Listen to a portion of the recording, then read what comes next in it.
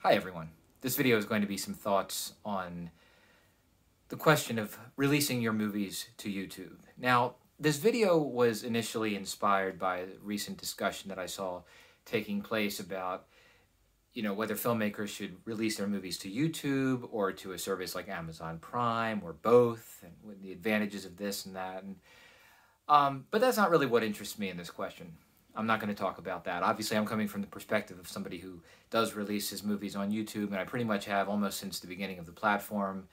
Um, but rather, what I wanted to talk about was uh, what it means to create any video for YouTube or to put a video. You know, what basically how how does the platform shape the content and our expectations of it? So I should also mention that this video and some and the thoughts that I'm going to be sharing in this uh, are also inspired by a, a, project that I was a part of, a, a small part of, but uh, involved in about uh, a little over a decade ago called the Micro Movies Project. And the Micro Movies Project, I, am going to, uh, I'll just say this for now. Uh, the Micro Movies Project was basically uh, an effort to think about creating films for the, the web, uh, ultra short form content.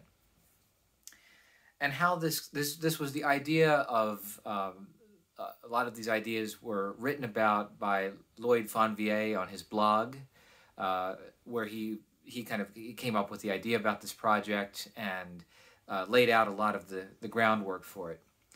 Uh, now, before I get to that and, uh, and his ideas, I want to just kind of uh, mention something about the early days of YouTube, when I, I'll always remember this, when I was in film school, uh, we had a, well, I was in a writing class. It was a uh, broadcast and film writing class. And the professor made a comment one day. He said that if you want to write for YouTube, you don't need to be here. Now, he was, in one sense, he was right. But I also think that that attitude speaks to something of the uh, kind of negative view, the kind of condescending view that a lot of people had toward YouTube in the early days. This was actually in uh, early 2007, so the platform had actually been around for about two years at that point. But I, I was struck by that because I already by this point had started uploading my short films to YouTube. Uh, that I was making, you know, I had started making short films again when I was in film school, as I've mentioned, and had kind of gotten back to to um, working in that short format after having, you know, tried making uh, some features over the past few uh, several years before that.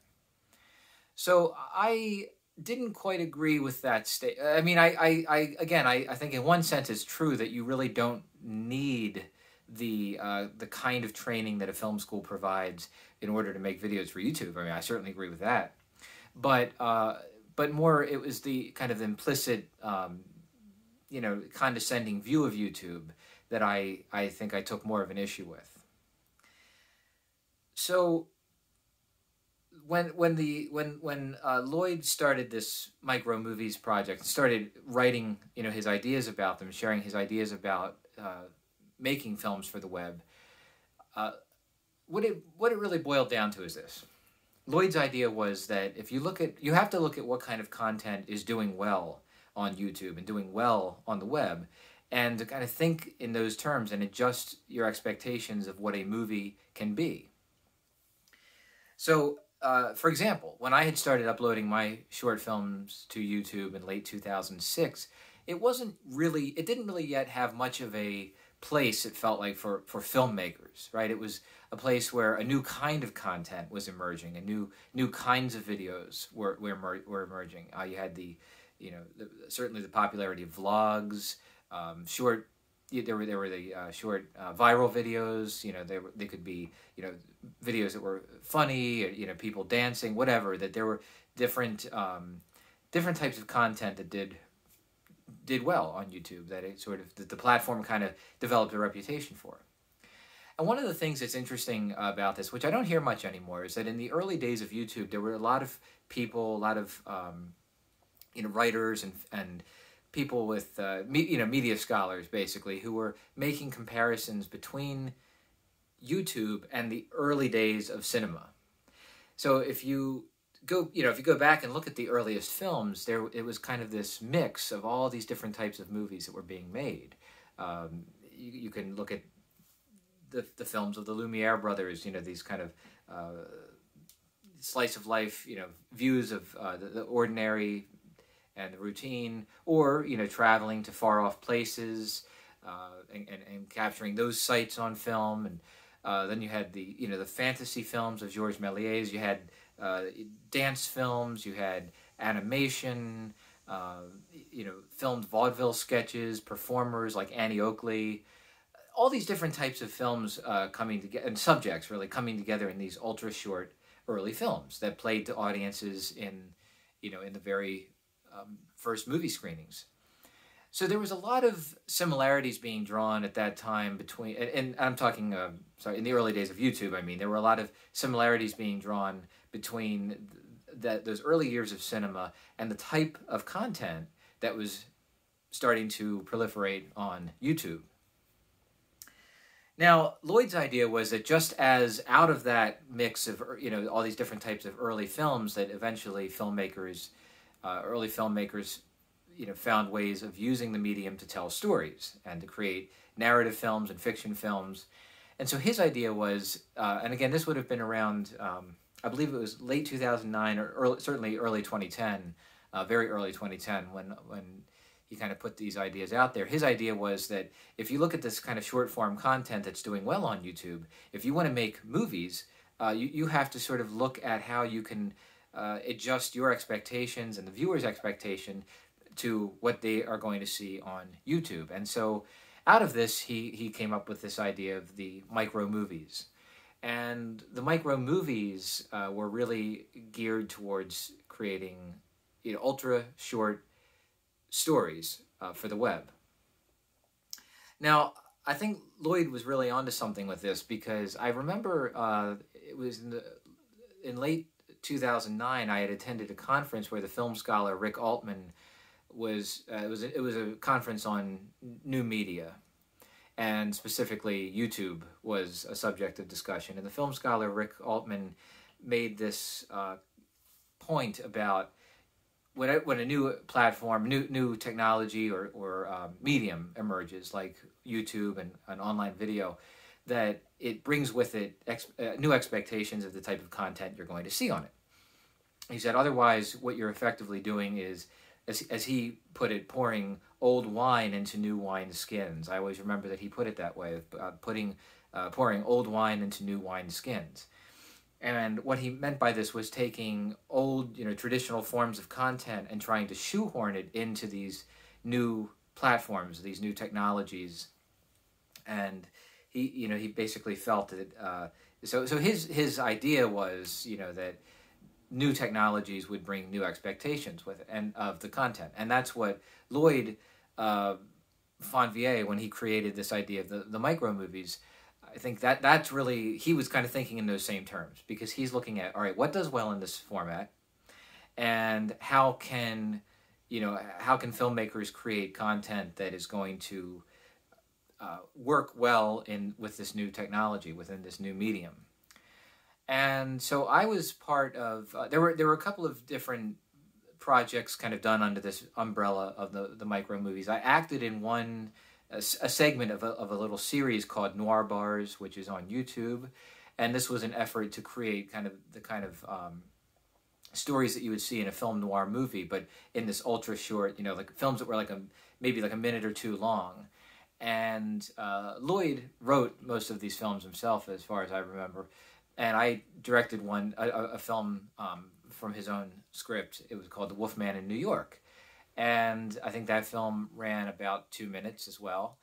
So for me, it was a real it was it was like a learning experience because I had been making you know twenty minute, uh, 15, 20 minute short films and had been uploading them to YouTube and.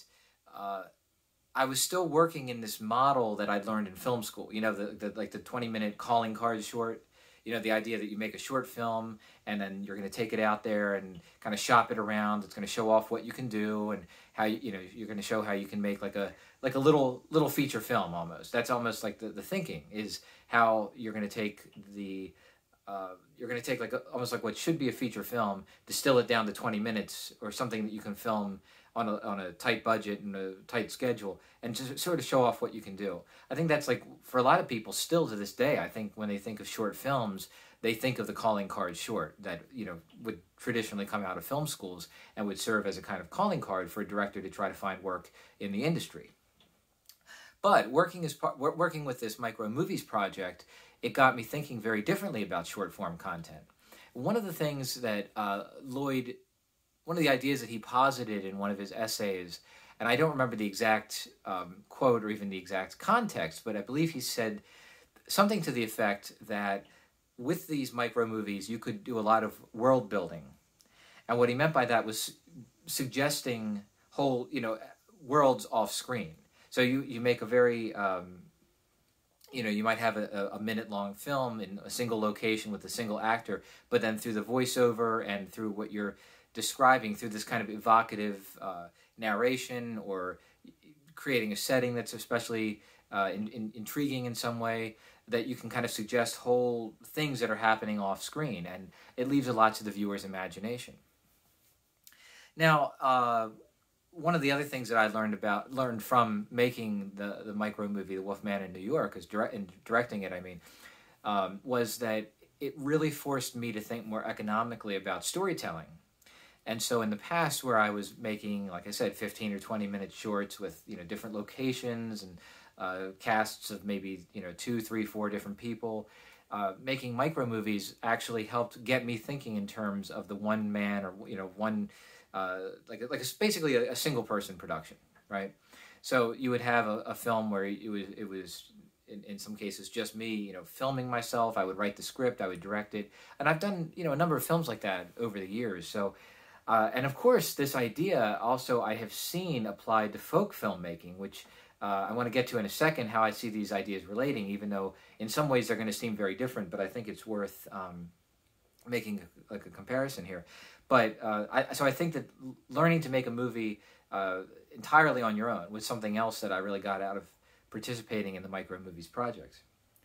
Now the micro, so the thing with micro movies was there, you know, there was a, a lot of ideas that, that Lloyd and I kind of shared. I, I wrote some some of these in my own blog, and you know he had he wrote uh, uh about two or three different essays on the project on his own website. And um, one of the things that kind of kept coming up in, in talking about this was the idea of um, creating a new a new way of telling stories, a new way of making movies, and a new way of, for filmmakers to break away from the establishment and to use you know to really kind of harness the tools of web video, of online video, of YouTube uh, to get their own films out there. And so uh, this this actually kind of leads me into what I, I wanted to the connection I wanted to make with folk filmmaking, because it seems to me that despite the difference, uh, the obvious difference that you know the micro movies were about creating ultra short content, and folk filmmaking is about creating features for release on YouTube. I would actually argue that the length of the film aside, there's there's a there's a great deal in common between these two projects. I would say, in fact, that they almost share a common goal. So one of the things that, uh, as I mentioned, micro movies was kind of partly born out of this idea of these comparisons with early cinema when film was just uh, filmmakers were just learning to, or you know how to tell stories for the screen and if you look back at those earliest narrative films movies like the great train robbery you know they're roughly they're, they're short they're short films i mean that's probably one of the longer ones for its time i mean at, at like 10 15 minutes but for the most part you know these early story films were, were still quite short. But to me, what folk filmmaking represents is almost like the next step of that. So I think now, like in the last decade, uh, there have been a lot of changes, obviously, both with YouTube and with the idea of streaming video in general. I think one of the big changes that uh, really was not yet the case in 2010. I mean, it was it was in its infancy. You know, streaming was kind of in its infancy as far as like Netflix, and you know, there really hadn't been as much done with that yet. So uh, what's interesting about that to me is that as streaming, as commercial streaming services have really come to proliferate and, and kind of dominate in a lot of ways, um, they've brought with them this old content. So if you think about a lot of the services that are showing older movies, older you know network TV series, it, it's it's it's that old that's that idea of the old wine being poured into the new wine skins, right? Uh, taking this old content and putting it into a new uh, a new medium. But YouTube has developed in some really interesting directions. Of course, the early uh, you know, you still have the, the, the, viral videos, the vlogs certainly are still very popular.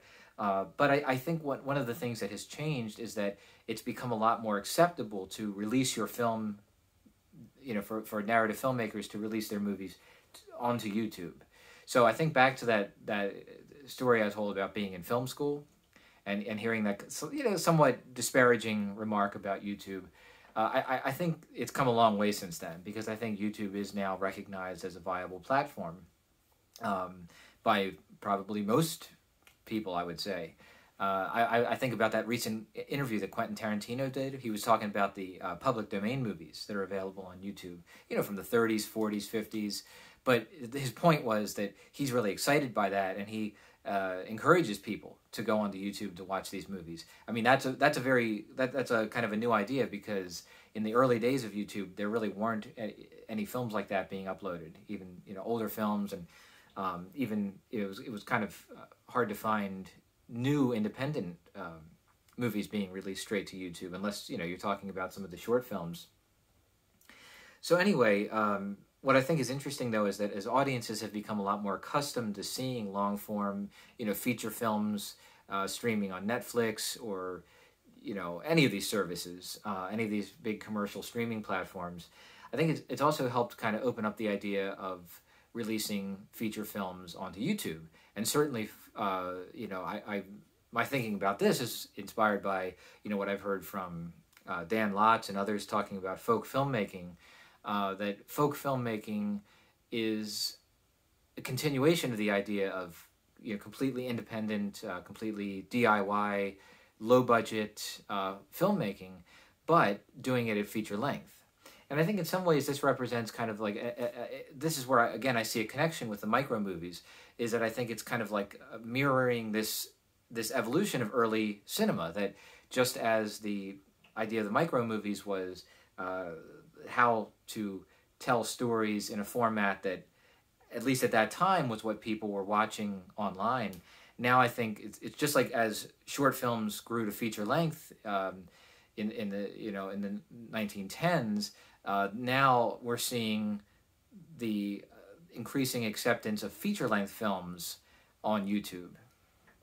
And, and where I where I really do think there's another connection here is that, uh, like with the Micro Movies Project, like what Lloyd uh, kind of out, outlined with the Micro Movies Project, there is this idea of, of creating a, um, you know, creating kind of a new system, a new way of thinking about releasing movies that that's going against that more uh, traditional uh, method, you know, so kind of circumventing Hollywood and and the you know the the, the major uh, film industry.